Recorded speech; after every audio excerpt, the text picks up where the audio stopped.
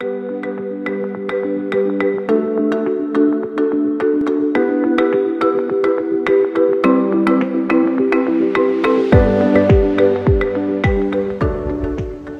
everybody, I'm back. Okay, we're on the island of Oahu in Hawaii. We're in a place called Waimea Bay.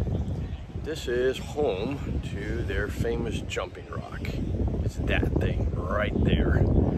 People come out from onto, onto the beach, up onto the rock, just to jump off the rock. It's been there for a very long time. A lot of people do it. A lot of videos of it. But uh, this bay is really pristine. The beach is outstanding. Today is uh, August the 14th, 2022.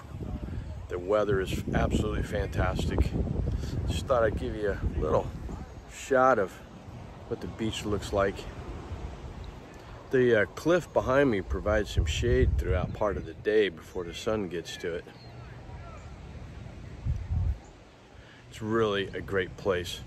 Also, uh, right over here to the end of the beach, right in that direction there, there looks to be some fantastic snorkeling areas.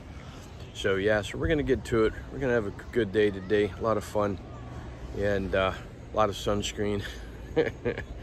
okay, see ya.